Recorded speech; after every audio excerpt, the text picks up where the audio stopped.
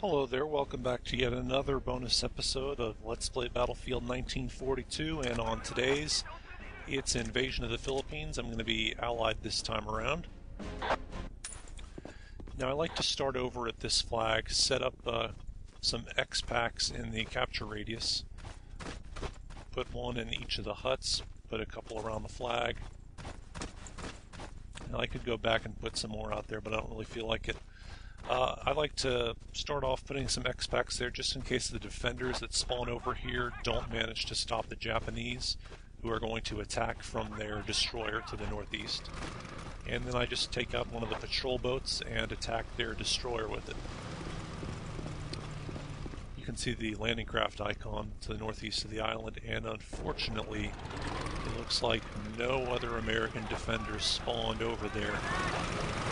That could actually be a really big problem.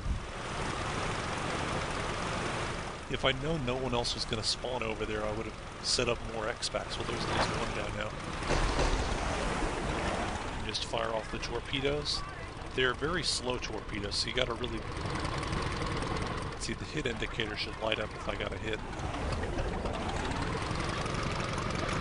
I'm not sure if they actually hit that Alright, the flag's gone gray, so I'll detonate. And that didn't work. I guess they...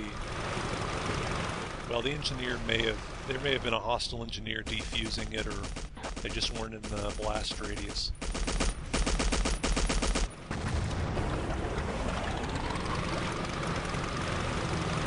Alright, I'm gonna chase down there.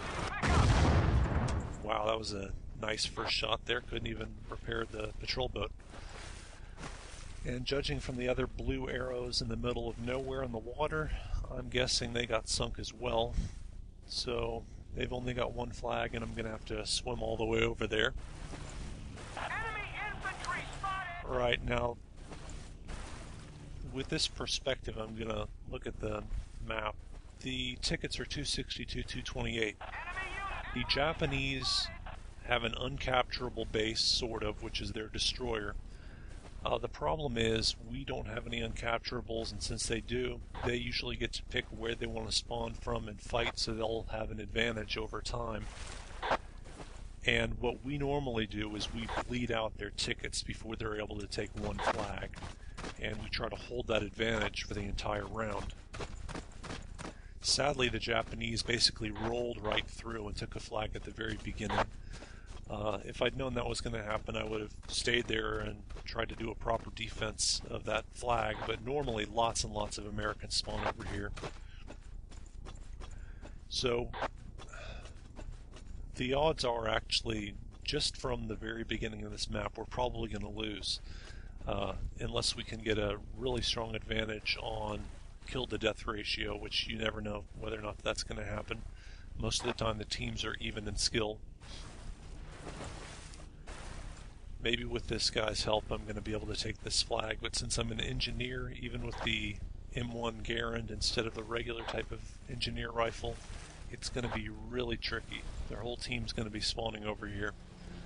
But I think if we're not successful in re-inflicting the ticket bleed, uh, I think the first couple minutes of this round may have been decisive. It's going to be an uphill battle.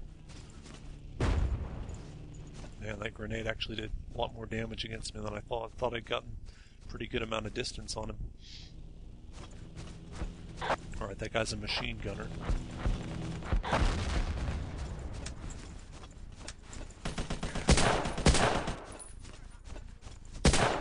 Yeah, there's a lot of traffic around here. Plus, we're not even neutralizing the flag yet, and that guy's dead.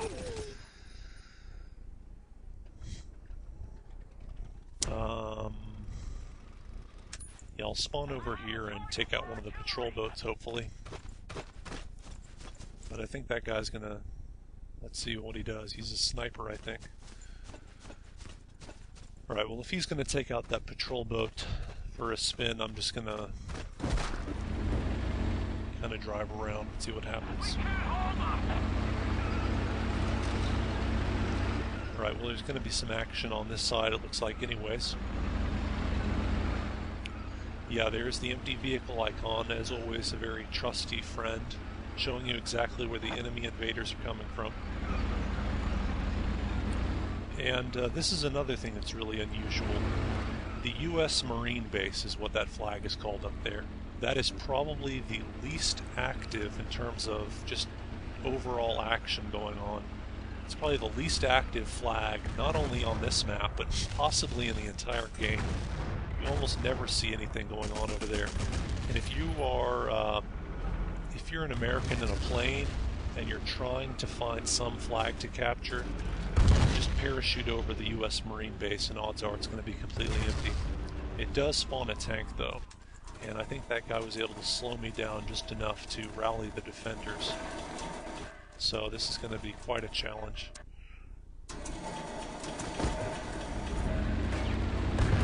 Yeah, we've already got infantry coming out from there. The guy who I killed uh, is probably going to be... Oh, that was a close one. And there's an APC. Um, the guys that I've just killed, before I can even neutralize this flag, they're all gonna, they're all going to be respawning in. And they're probably going to be anti-tanks and engineers. So taking that flag with this tank is probably going to be impossible. See, there's the anti-tank soldier right on cue. And there's another one. Now, if I were a medic here, I could possibly uh, do some damage against him. And that was, I, I guess that was a rare um, kill from having a bazooka shot right into my face. I'm not sure that's even happened on this Let's Play of Battlefield 1942 to me before. If this were the other type of Jeep, you can stick X-Packs in the Jeep and uh, drive over and jump out at the last second and detonate them.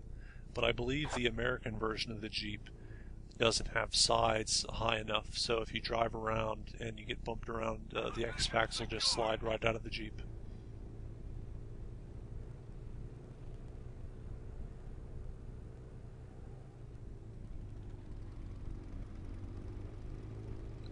And I have absolutely no idea how the U.S. Marine base got taken back by our side. Uh, must have happened pretty soon after I got killed. But I did see a patrol boat on the western side, so possibly some Americans landed over there. Come on, back up. An X-Pack will do it now, he's smoking. There we go. You know, I actually didn't get the landmine quite far enough onto the tank. Although in real life you think of landmines being detonated by driving over them, if you put a landmine on top of a tank, it'll just sit there and as soon as the tank starts moving it'll detonate. Okay, that's another rare way to be killed. The APC gun. I had no idea someone was over there.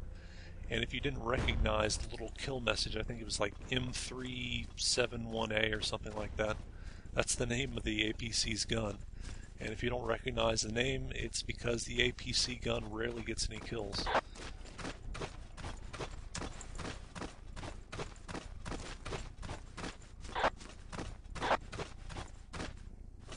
Alright, I guess that guy was killed by somebody while I was dead.